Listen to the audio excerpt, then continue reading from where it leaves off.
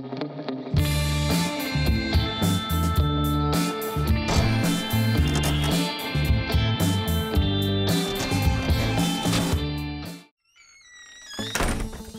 tal amigos? Me alegro mucho mucho de que estéis ahí. Bienvenidos a este canal. Eso que lo arregle papá, porque estás a punto de ver un vídeo de puro bricolaje. Comenzamos.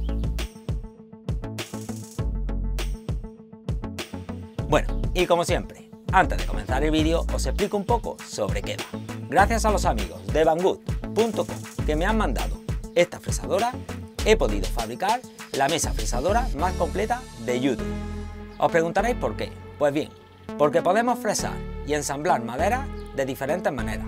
Además, con el sistema que he inventado, se fresa mucho más fácil que las demás mesas que habéis visto en YouTube. Y además, podemos cortar en círculo e inclusive podemos fabricar platos de madera. Quedaros, porque he recopilado en este vídeo el más mínimo detalle, por si queréis fabricaros una, y está bastante entretenido. ¡Comenzamos! Y para hacer nuestra mesa fresadora voy a utilizar un panel laminado de palé reciclado y dos patas viejas de una mesa.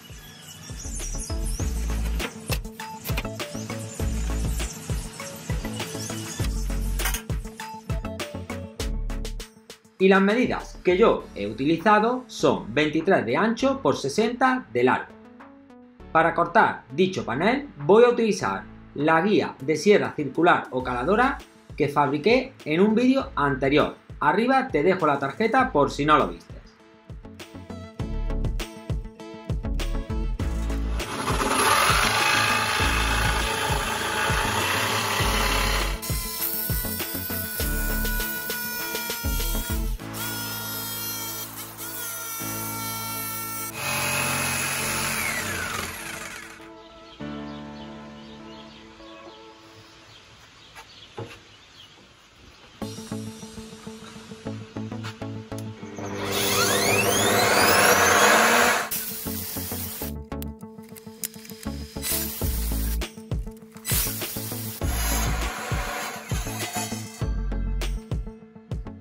Ten en cuenta que la medida de las patas es variable. Según mida tu fresadora de largo, así debes de cortarlas.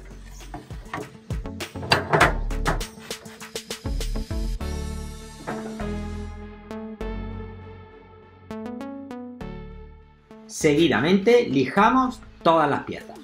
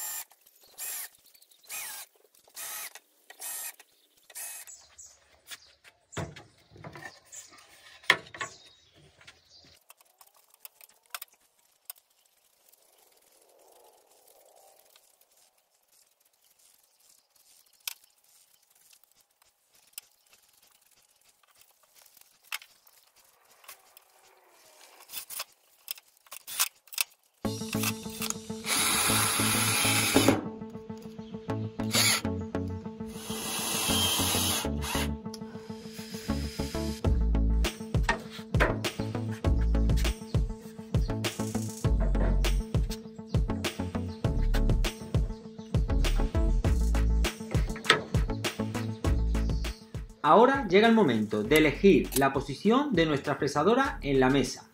Yo he elegido una zona central un poquito más adelantada. De todas maneras podéis ponerla donde mejor os interese.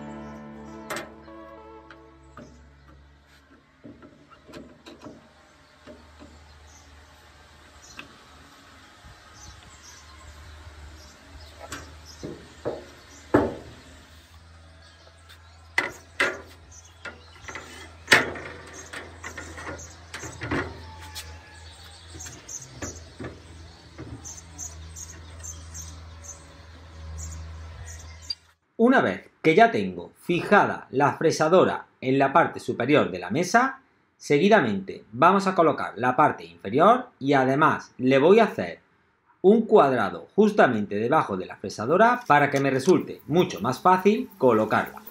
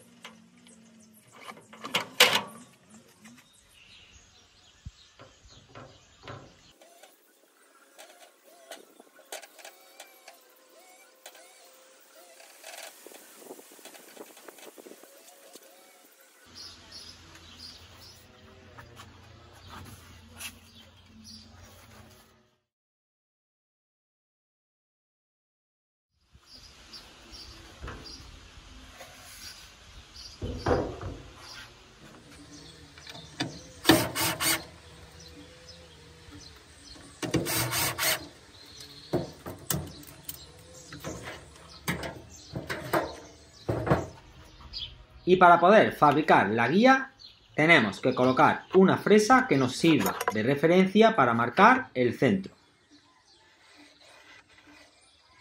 Y aquí está la parte más innovadora de mi guía. ¿Por qué? Porque dicha guía tiene un punto fijo que es el taladro que estoy haciendo ahora mismo. Y el otro punto bascula en la parte delantera.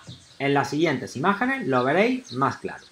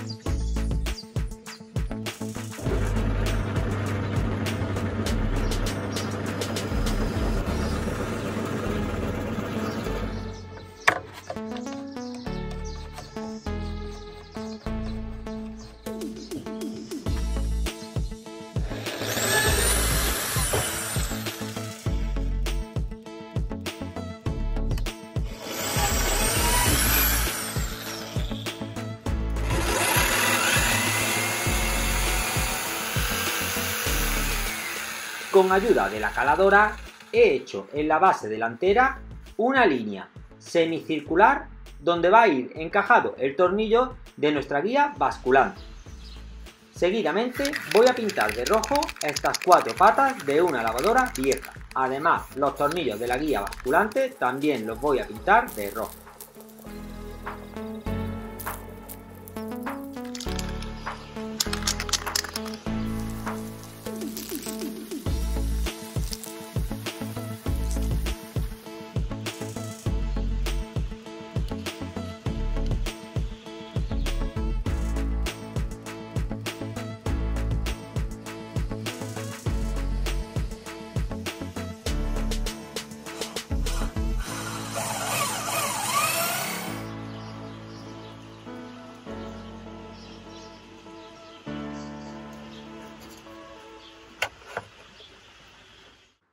Seguidamente, entre la fresadora y el punto trasero de nuestra guía basculante, marcamos una línea recta que vamos a dividir por centímetros. Y esto servirán para que podamos cortar en círculo o inclusive hacer platos de madera.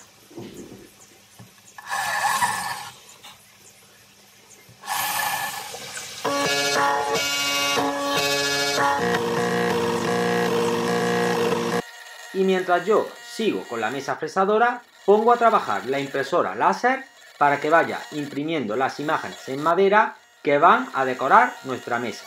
Arriba te dejo la tarjeta del vídeo que hice sobre ella.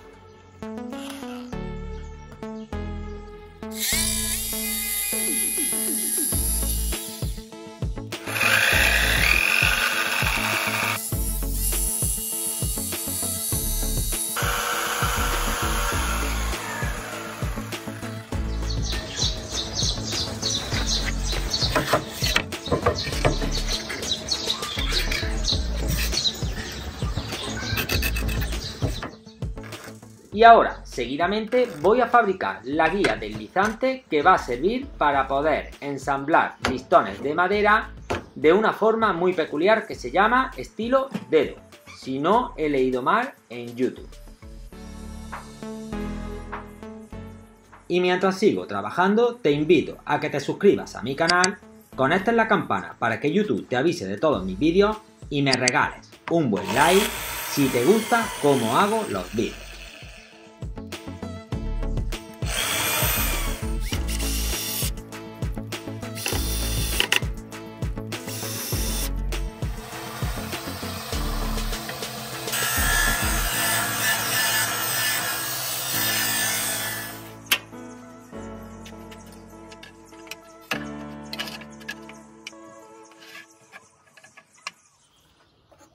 Este paso es muy importante porque tenemos que hacer que nuestra guía vaya totalmente a escuadra. Para ello voy a colocar dos laterales que van a servir para que la guía vaya deslizando por la base de la mesa fresadora para que de esta manera vaya totalmente recta.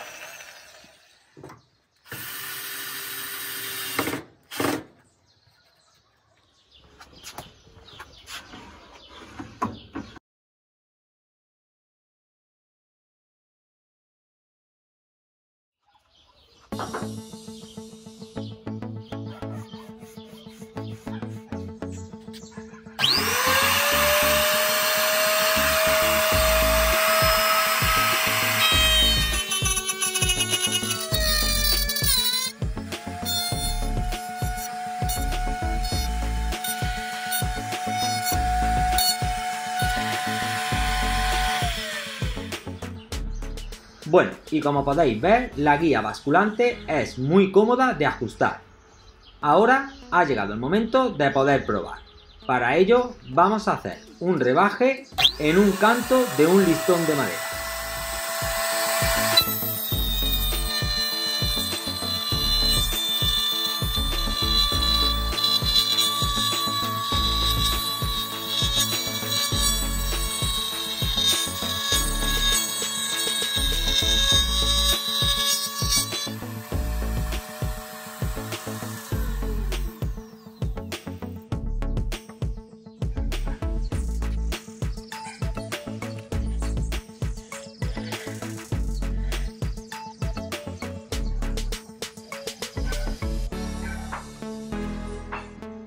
Si queremos fresar por el centro del listón, es tan fácil como aflojar el tornillo, ajustar nuestra guía los centímetros deseados, apretar el tornillo y ya podemos fresar el listón.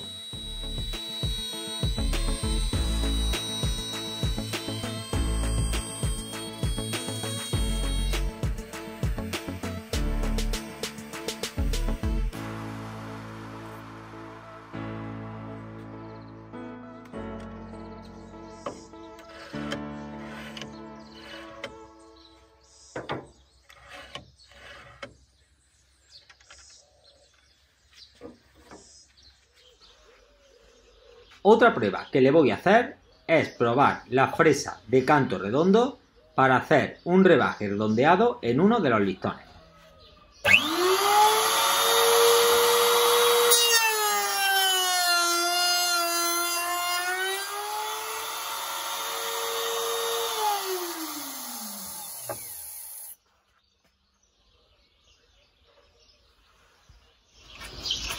Y ya por último, vamos a cortar en círculo.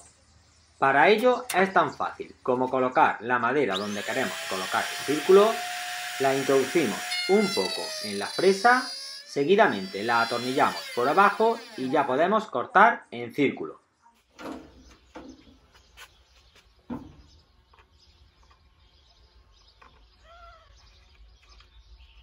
Bueno, como este vídeo ya es un poquito largo, Voy a dejar la fabricación de un plato de madera y la unión tipo dedo para un siguiente vídeo que haremos futuramente.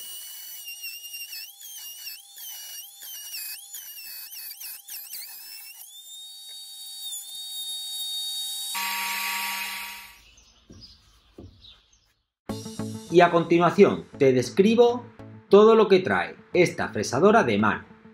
Viene un libro de instrucciones en chino, unos guantes, una mascarilla,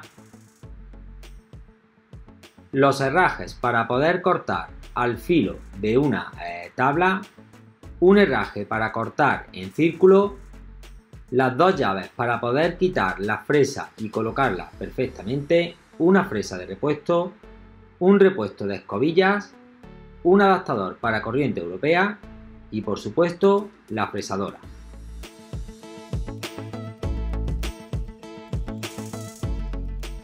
Comentaros que aunque no es una fresadora de una primera marca, sí os tengo que decir que está muy bien fabricada y los materiales se ven de buena calidad. Además viene con todos los ajustes necesarios que puede tener cualquier fresadora de mano de primera marca. Viene con un regulador para que podamos ajustarla al milímetro en altura,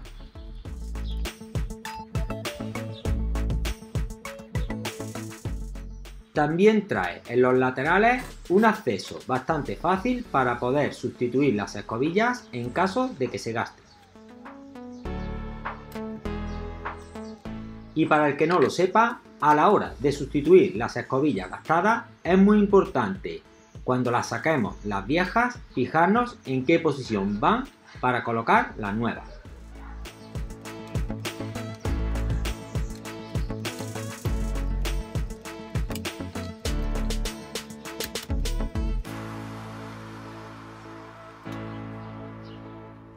Trae un cable de bastante calidad de aproximadamente 2 metros y como he dicho anteriormente trae también el adaptador europeo. A continuación montamos el herraje para poder fresar en línea recta el canto de una madera.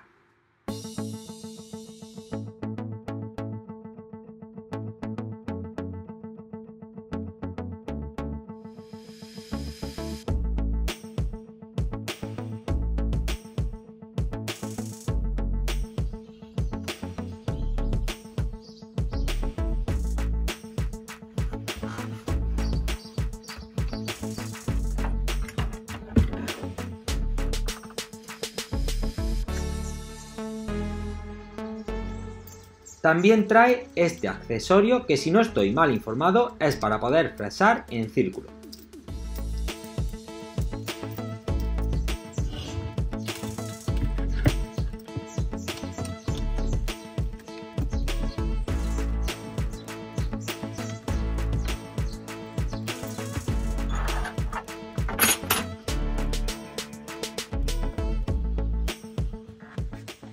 Uno de los motivos principales por el que elegí esta fresadora es porque la parte superior es plana, con lo cual se puede sustituir la fresa de una manera muy fácil.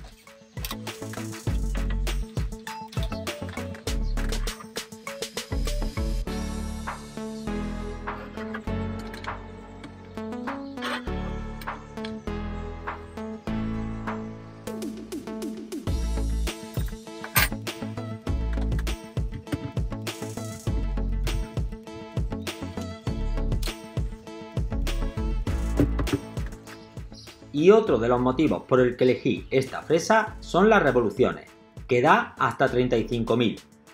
Por último, vamos a conectarla para que escuchéis el sonido.